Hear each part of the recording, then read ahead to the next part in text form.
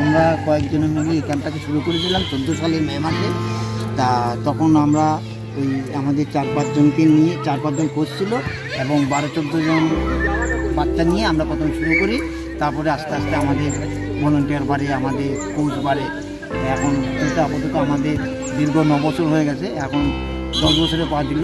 তা আমাদের বর্তমানে প্রায় একশো চল্লিশ স্টুডেন্ট আছে।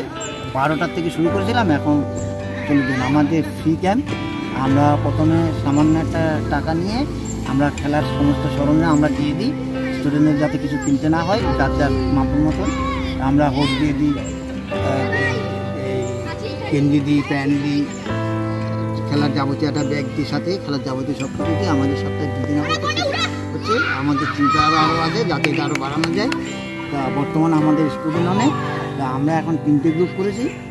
Under eight under ten over ten তিনটে গ্রুপ আমাদের আপাতত পাঁচজন কোচ আছে।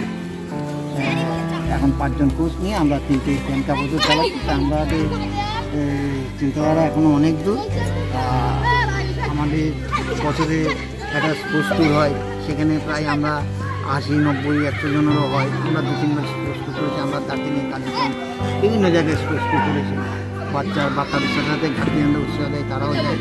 করি। তারপরে তাছাড়া লোকাল পিকনিকও আমরা বছরে দুটো ছোটোখাটো বিভিন্ন প্রোগ্রাম হয়, আর আমাদের সবাই সম্পূর্ণটাই ফ্রি আমাদের বাচ্চারাও যেমন ফ্রিতে আমরা শেখাই।